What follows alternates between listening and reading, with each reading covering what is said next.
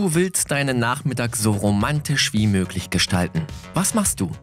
A. Essen im Lieblingsrestaurant. B. Einen Ausflug in den Wald. C. Einen Spaziergang am Strand. Oder D. Den Sonnenuntergang beobachten.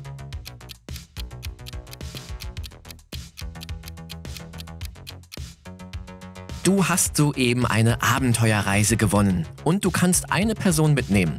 Für wen entscheidest du dich? A. Dein Geschwisterchen. B. Deinen besten Freundin. C. Einen deiner Arbeitskollegen. Oder D. Jemanden, der dir nicht nahe steht, damit ihr euch besser kennenlernt.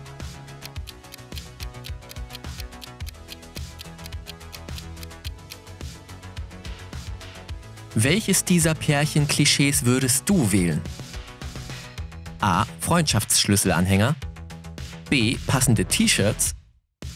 C. Freundschaftshalsketten. Oder D. Das Bild des anderen als Smartphone-Hintergrund.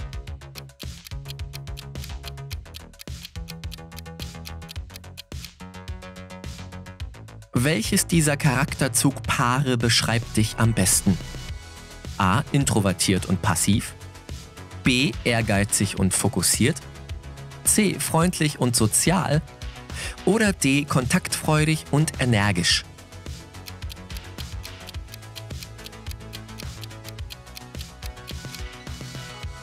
Welche dieser Situationen magst du am wenigsten? A. Wenn Menschen dich zu etwas zwingen wollen, das du nicht magst. B. Wenn dich jemand unterbricht, während du redest. C, wenn deine Freunde in letzter Minute die Pläne absagen.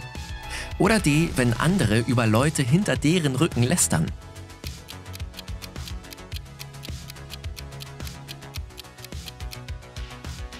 Es ist Donnerstagabend und du bist hungrig. Was tust du? A. Du suchst online nach Rezepten und kochst dir was. B. Du bestellst etwas in deiner Liefer-App. C. Du gehst in dein Lieblingsrestaurant. Oder D, du suchst nach neuen Lokalen in der Gegend und isst dort.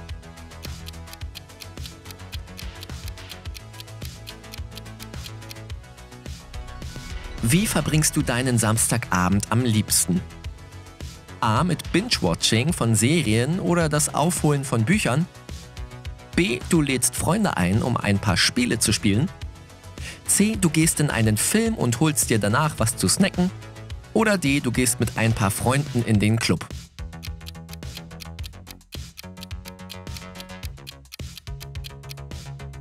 Wo würdest du gerne leben? A. In einer kleinen Hütte in den Bergen. B. In einem Haus oder Apartment in einer Großstadt. C. An einem weitläufigen Ort in der Vorstadt. Oder D. Irgendwo nahe des Strands.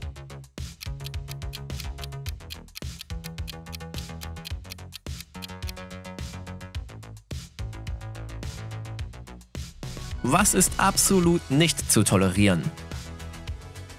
A. Schuhe in deinem Haus zu tragen. B. Jeans zu tragen, während du auf der Couch liegst. C. Mit Socken zu schlafen. Oder D. Eine einzelne Socke in der Waschmaschine zu finden.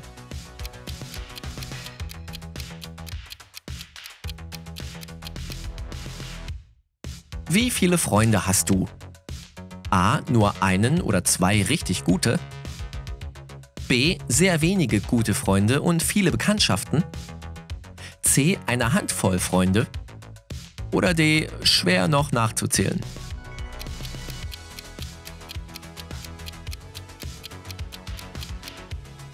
Du lädst jemanden zum ersten Date ein. Wohin führst du ihn aus? A. Zu deinem Lieblingscafé. B. Zum Museum, um euch über Kunst auszutauschen. C. Zu etwas spaßig Aktivem, zum Beispiel Klettern. Oder D. Zu einer Comedy-Veranstaltung oder in eine Karaoke-Bar, um euch aufzulockern.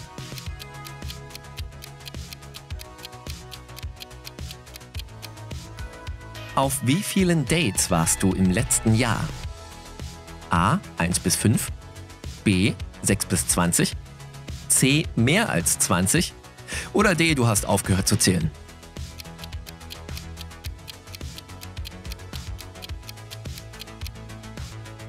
Was hältst du vom Valentinstag? A. Zu kommerziell. B. Ist okay, weder gut noch schlecht. C. Erinnert dich daran, dass du für immer alleine sein wirst.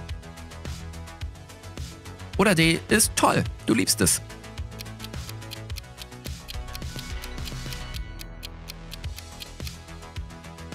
Welches ist das ideale romantische Geschenk, das dir deine Partnerin geben könnte?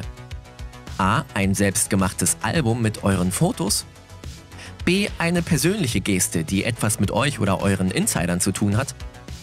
C. Etwas Nützliches und kein Kitsch. Oder D. Die gute alte Schachtel Pralinen, Blumen und Kärtchen.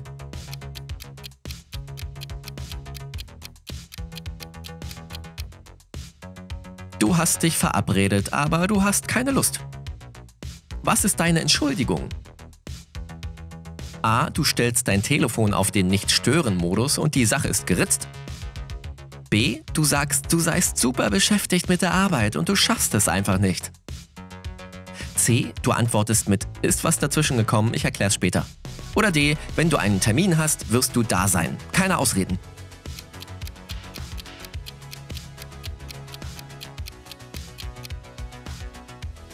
Wie fühlst du dich unter vielen Leuten? A. Du hältst es nicht aus. B. Du blendest sie aus. C. Kommt drauf an, wie nah du dran bist und ob es zu heiß ist. Oder D. Du liebst es. Fühlt sich an, als wärst du mit vielen guten Freunden unterwegs.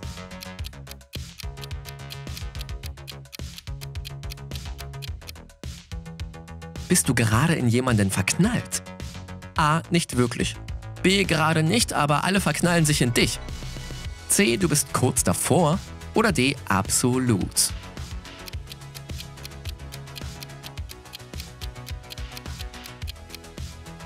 Warum kommen deine besten Freunde zu dir? A. Für stundenlange tiefgründige Unterhaltungen über alles Mögliche. B. Um mit jemandem über deren Probleme zu reden. Du bist ein guter Zuhörer. C. Um dich nach Rat zu bitten und in schweren Zeiten getröstet zu werden. Oder D. Du bist die Freizeitbegleitung und bei allem dabei.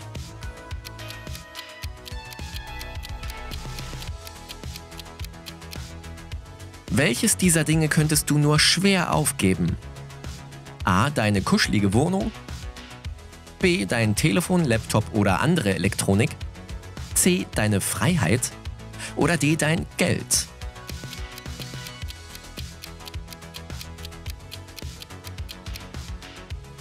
Was ist für dich zurzeit am wertvollsten? A. Erfolg. B. Deine Zeit. C. Deine Freunde und Familie oder D. Glück?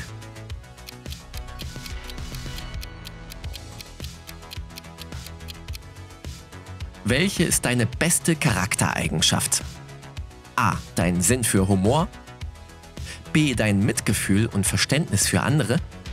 C. Deine Freundlichkeit. Oder D. Deine Offenheit für Neues.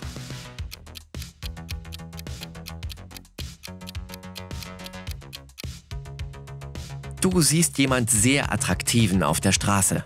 Was tust du? A. Du beobachtest denjenigen und wenn er dich sieht, schaust du weg. B. Du lächelst im Vorbeigehen und gehst weiter. C. Du lächelst und winkst. Nur so Spaß. Oder D. Wenn derjenige zurücklächelt, fängst du eine Unterhaltung an.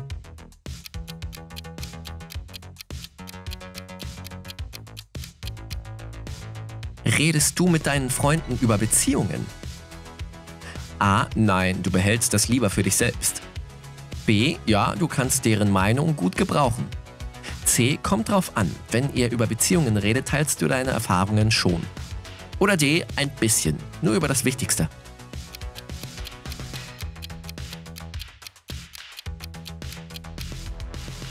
Stell dir vor, du bekommst eine geheime Liebesbotschaft aufs Handy. Was ist dein erster Gedanke? A. Das ist ein Prank, bloß nicht antworten. B. Jemand spioniert dir nach und du gerätst in Panik. C. Keine Zeit nachzudenken. Du rufst Freunde an und spekulierst über die Nachricht. Oder D. Hm, wer könnte das sein?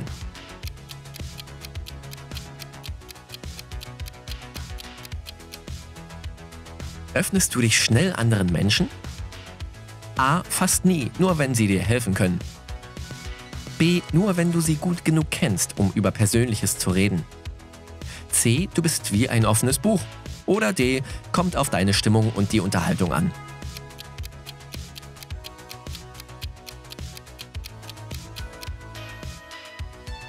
Welchen Typ Mensch ziehst du an? A. Den nerdigen Typ. B. Kreative oder Künstler. C. Menschen, die fürsorglich und beschützend sind. Oder D. Freundliche und abenteuerlustige Menschen.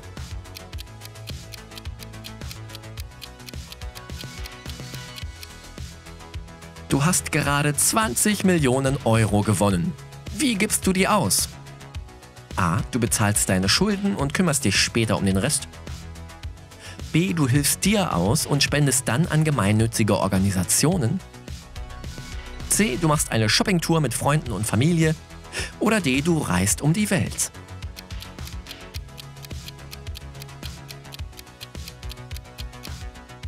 Du hast ein ganzes Wochenende für dich. Wie verbringst du es? A. Du bleibst drin, relaxst und spielst ein paar Videospiele.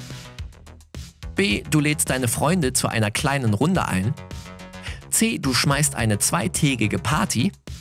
Oder D. Du verlässt das Haus und besuchst Orte, an denen du noch nie warst.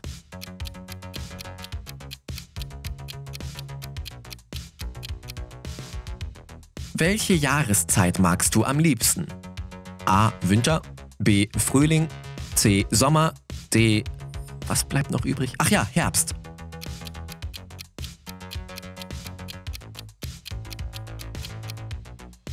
Was ist deine größte Schwäche? A. Du bist so schüchtern, dass du nie für dich einstehst. B. Du bist verträumt und vergesslich. C. Manchmal kannst du kontrollierend sein. Oder D. Du sprichst sofort und ohne nachzudenken aus, was dir in den Sinn kommt.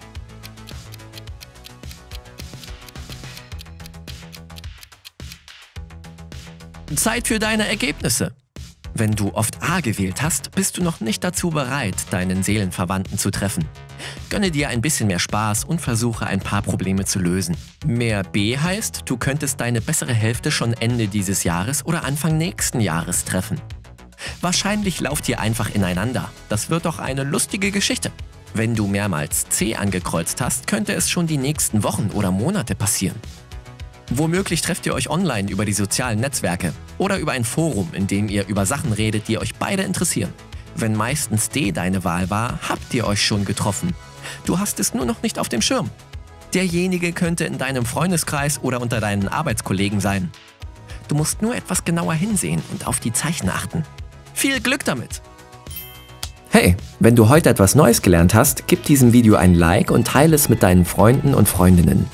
Und hier sind noch ein paar andere coole Videos, die dir gefallen könnten. Klicke einfach links oder rechts und bleib auf der Sonnenseite des Lebens.